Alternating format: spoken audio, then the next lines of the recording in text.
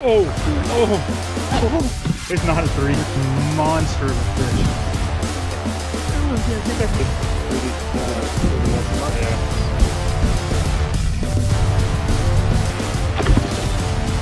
Good fish right there. If you told me that I only get one lure to throw the rest of my life, uh, first I would argue with you and ask if I could have two or three. But if you still said no, you only get one. Uh, the one lure that I would pick by the title of this video would definitely be the underspin. Reason being is because I've caught a lot of big fish with this lure. I've also caught a lot of fish in general. So maybe just numbers of fish. Super versatile, super weedless. You can fish it slow, you can fish it fast. You can fish at different water column depths. You can vary the size. You can do a lot of things with an underspin, but I will tell you, this Picor lure right here is probably my number one. I kind of actually almost think it's cheating because uh, there were there was a time that I stopped throwing it all together because it just got too easy. But that being said, uh, if you're looking for a great one to throw, it is the underspin. And I'm going to talk about a couple of things really quickly. We're going to talk about different variations of sizes. We're talking about different variations of hooks and a couple of unique things that I add to mine uh, that, I, that I think you'll like, that I think will help you in your setup and ultimately help you have more fun on the water catching fish with underspins. So let's break it down.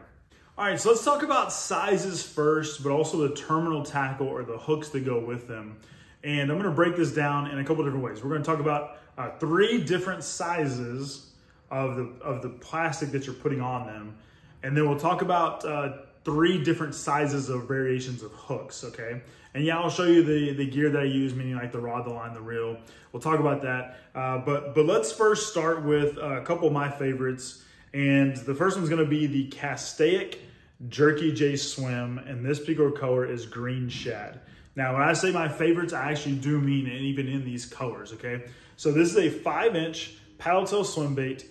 And this is a green shad color and I'm throwing it with a five aught owner flashy swimmer and that is a one quarter ounce weight when you combine the whole thing. So it's one fourth ounce, five aught hook, five inch swim bait.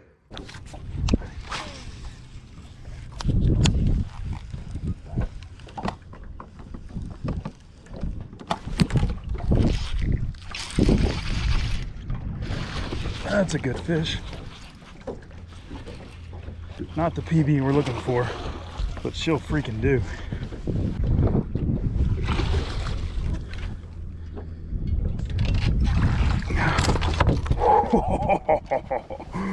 yes, sir. Heck yeah, dude. Heck yeah.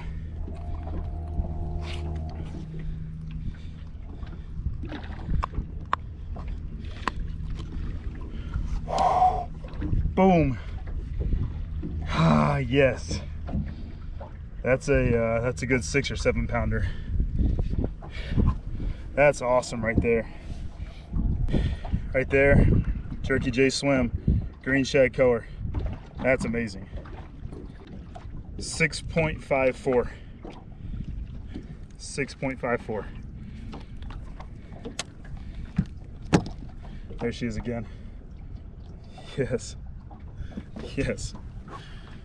I particularly like to throw this one. I wish I could throw it year round, but like in the fall, like right now in the fall transition, bass are keyed in and smaller bait, and I'm just not getting consistent bites on the bigger one. Now, if you're talking pre-spawn, spawn, and slightly after the post-spawn, this one is money. I mean, money. Once you start getting into the shad spawn though, so kind of like that, that May time frame, kind of through the fall, um, the smaller ones work better. I'll get to those in a second. Um, I also throw the weedless version, so you'll see like if I push down, the hook uh, points out, but otherwise, this is relatively weedless. Um, I like throwing this version around timber. Uh, yeah, around a lot of grass as well. And, uh, and even, even on rocks, kind of hopping it or swimming it right over rocks, okay? So it's pretty versatile. I will say I'll probably use this one the most if I can. If I can, this is probably gonna be my number one go-to setup right here. Five inch Jerky J Swim, green shad, five aught owner flashy swimmer, and again, that is a one fourth ounce. But let's say it's this time of year, present day, right now, you'll notice there's no line attached to this because it's not what I have tied on. It's not what I'm using. What I'm using instead is a four inch paddle swim bait, but with the same five aught hook. Let me show you that one. That is going to be the one that I'm using. Uh, I have to bring the rod with me because it is tied on, is the X Zone Swammer. Now this particular color I really like as well. This is Brim or Bream.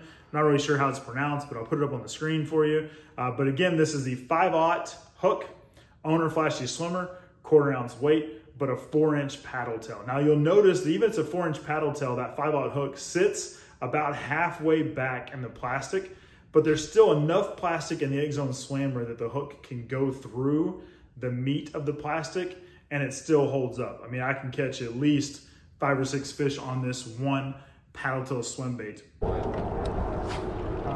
It sounds so like it goes so much faster out here.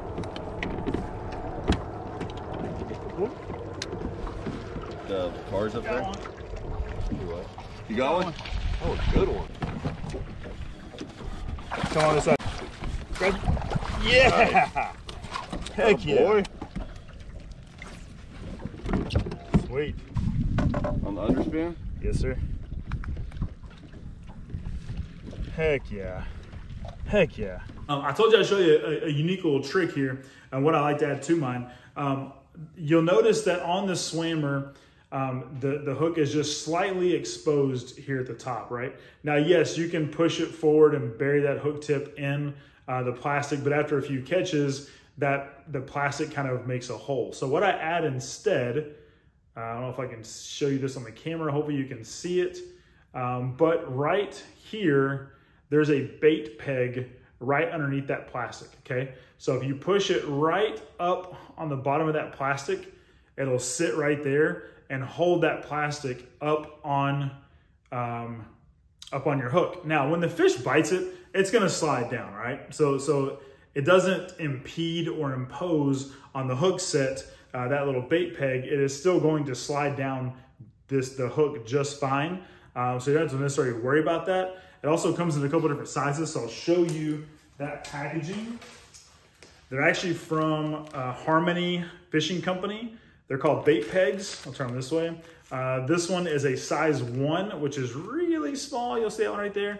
Uh, this one's a size two. Uh, you'll see it's a tad bit bigger. I use the size two. Uh, they both come a hundred per pack, but Harmony Fishing Company uh, makes some pretty unique kind of things that you can add to your tackle or that kind of makes fishing better.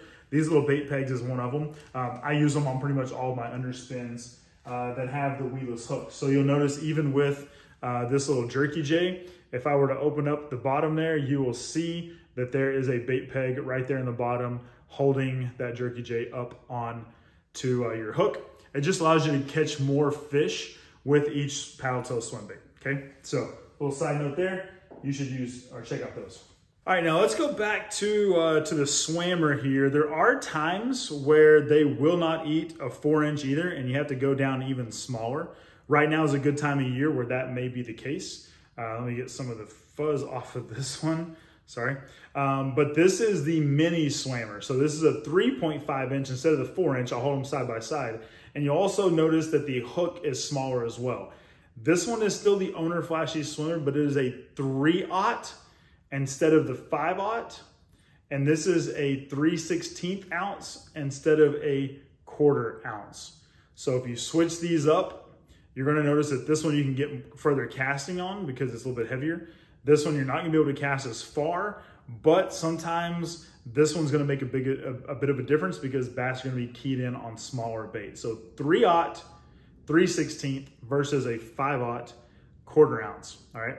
Um, one thing I will say though about both of these owner flashy swimmers, the hooks are really good. And owner actually even does make a one aught, which I believe is maybe even an eighth of an ounce. Uh, so even smaller uh, than this one here, okay?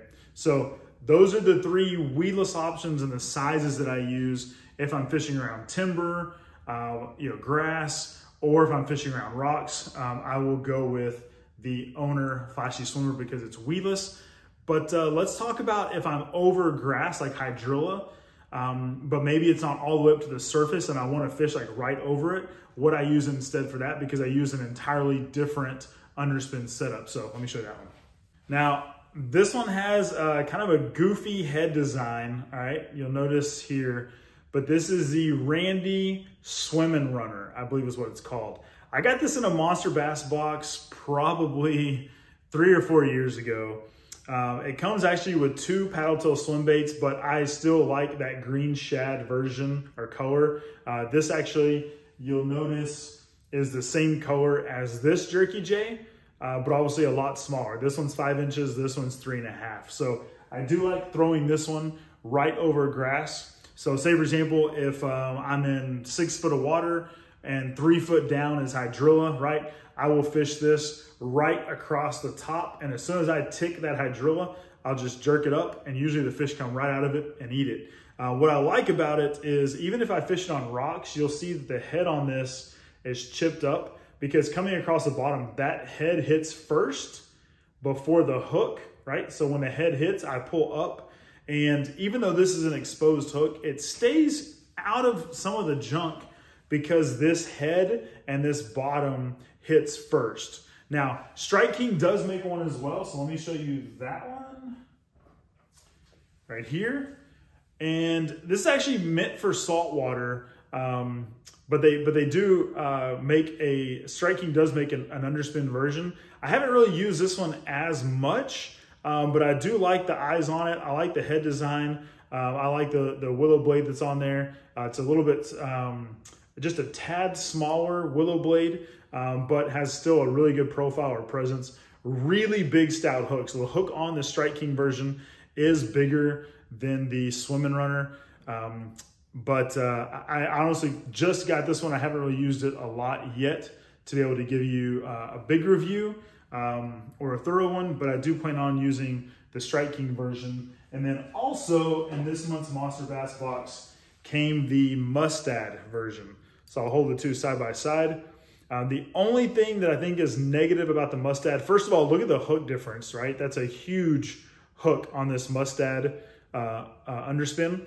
The only negative thing is on this Mustad one, if you'll notice between the willow blade and the hook, there's a lot more room, right? The width of your plastic can be bigger versus the width of the plastic on this one.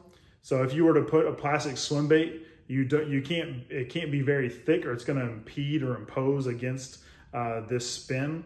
Um, so I do wish that this head was maybe a little bit taller so this blade would drop down a little bit more like it is here. And that's why this design is kind of elongated head is uh, so that the blade can come off of that plastic. So I do feel like this one swims a little tighter. Um, but that being said, I have caught fish so far with the Mustad underspin uh, and it works well. This one though that I have is a 3 8 ounce. I do believe it comes in different weights.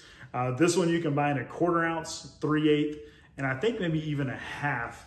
I probably really prefer the quarter ounce or the 3 8 uh, it just helps it to stay down in the water column a little bit more. Um, but I, I love this one here. It's probably one of my favorites with that exposed hook.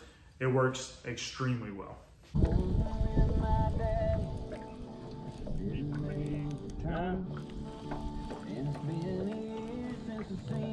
There's one.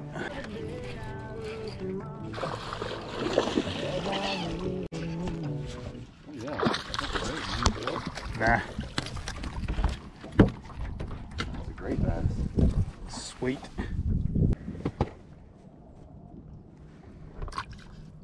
So real quick, going back to these two sizes um, between either the five inch or the four inch, this time of year, I'm just catching more fish on this one. Uh, trust me, I wish I could get away with throwing the five inch. Uh, right now though, the bait is smaller, the bass are keyed on smaller bait, and so the four inch uh, seems to be working better. Heck, even that three and a half inch would probably even work better uh, than this four inch. Uh, I was just on Lake Fork last weekend though.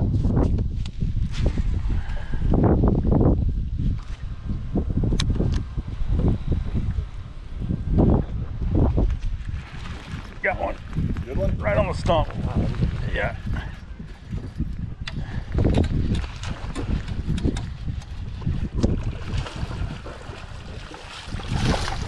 Nice. That's a good bit. Yes, sir.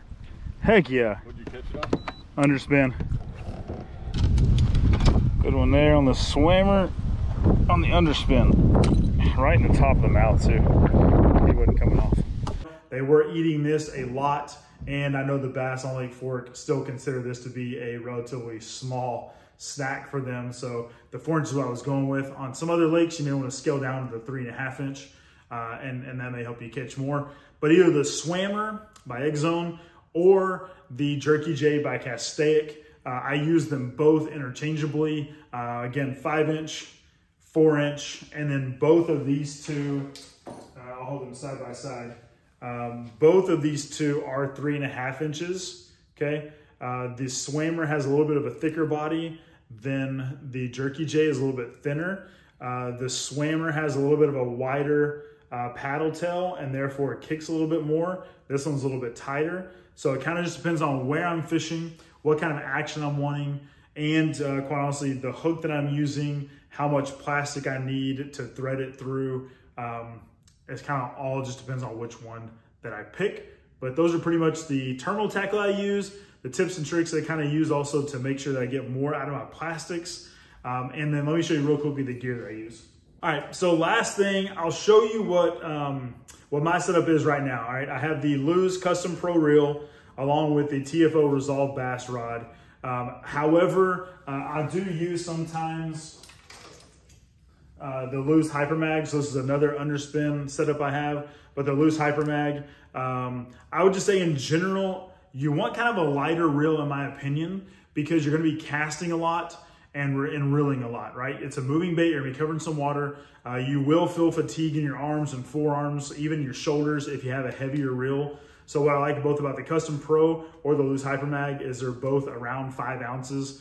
Uh, I think that Custom Pro is a little bit heavier. The Hypermag is like 5.4 ounces. Um, but the, this is a TFO Tactical Elite rod. So whether you like Winn grips or cork grips, TFO has a little bit of both. Uh, either way though, you want a medium heavy to heavy rod. Again, depends on the manufacturer and somewhere in that 7.2 to 7.4 uh, length is kind of what I use. This one's a 7.3 heavy. Um, the other one was a 7.4 heavy. Uh, so either way, that's kind of the range that you want. The gear speed of the reel, um, you can have about 7.5 to 1. You can go up to an 8.3 to 1. Just make sure if you have 8.3 to 1, you're not just burning it because sometimes they want it slow, all right? Um, if you want a full breakdown of how that fishing went on Lake Fork with the underspin, you can go back and watch the previous video breaking down the pattern on Lake Fork. I talk about what we were using, where exactly the fish were, and how they were patterning. So go back and watch that one. Let me know if like this one though. The underspins will catch you a ton of fish. You just gotta know how to use them. Uh, oh, last thing, I do fish them on 17 to 20 pound fluorocarbon. 17 pounds if it is uh, an exposed hook, all right? And then 20 pounds uh, fluorocarbon if it is weedless. Uh, because these are thick gauge hooks. Uh, you need a heavier rod and thicker line to help you set the hook. But underspins are fantastic. You will catch a ton of fish on them. You just need to kind of understand when to use which one, whether it be an exposed hook or a weedless hook, which plastics to put on which hook sizes really makes a big difference. Switch them up throughout the year. Uh, I love throwing the five inch, but right now they're eating probably the three and a half or the four inch more. When it gets back around to pre-spawn, I'll go back to using the five inch again. So vary up your sizes, vary up your hooks with those sizes, and you'll catch a lot of fish on the underspin. Drop me a comment. Let me know what you think about this video or uh, what you think about using underspins in general. And if nobody told you God loves you, and so do I. Peace out.